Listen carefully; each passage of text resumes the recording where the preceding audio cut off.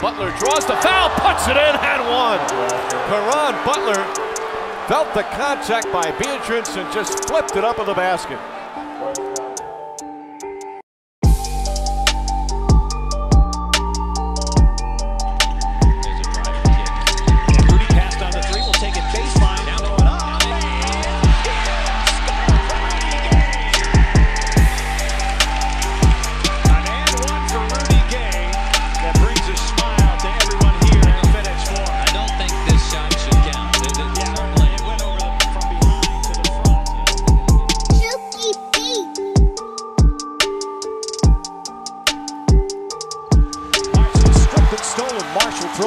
To Jodie Meeks. Meeks on the drive, looking to draw contact, and oh, counted and one.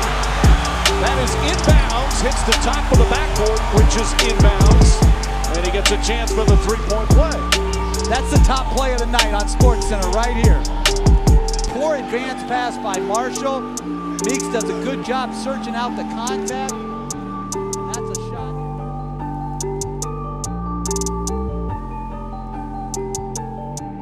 Devean George. The shot clock at five. Monta driving behind the backboard, made the shot and draws the foul.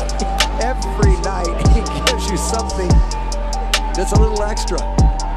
Oh my goodness. I mean, this is, and I said before, Bob, he scores in more different, in different fashions, different variety than anybody in the league. We've never seen this one before, but he knew exactly what he was doing and controlled it